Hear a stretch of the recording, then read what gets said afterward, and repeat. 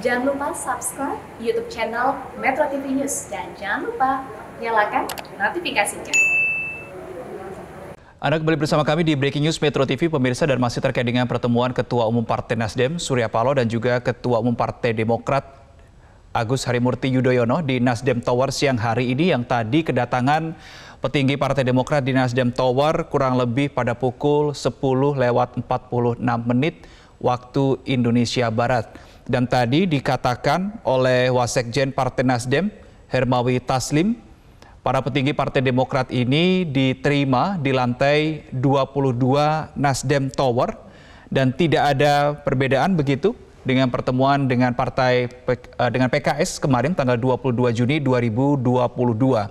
Beberapa hal lain yang disampaikan oleh Hermawi Taslim adalah pertemuan Partai Nasdem dan Partai Demokrat ini adalah bagian dari silaturahmi kebangsaan dan juga ini adalah ketiga kalinya kedatangan Partai Demokrat di Nasdem Tower.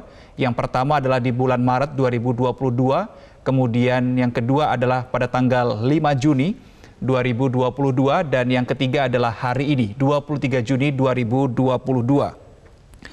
Dikatakan juga bahwa pertemuan ini tidak akan ada keputusan apa-apa begitu baik itu untuk uh, nama bakal calon presiden atau bahkan untuk uh, menjalin kerjasama atau koalisi, tetapi yang lebih difokuskan untuk pertemuan saat ini adalah untuk mencari kesamaan visi dan misi atau bahasa lainnya adalah mengklikkan begitu ya satu sama lain antar partai dan yang disampaikan juga adalah bagaimana mengawal keberlangsungan dan keberlanjutan dari program kerja Presiden Joko Widodo selama dua periode menjabat sebagai Presiden Republik Indonesia.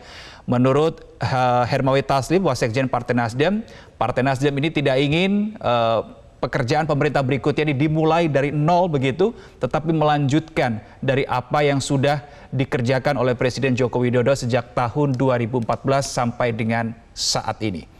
Setidaknya itu yang menjadi poin-poin tadi antara dari wawancara antara Sisilia Sinabariba dengan Wasekjen Partai Nasdem Hermawi Taslim.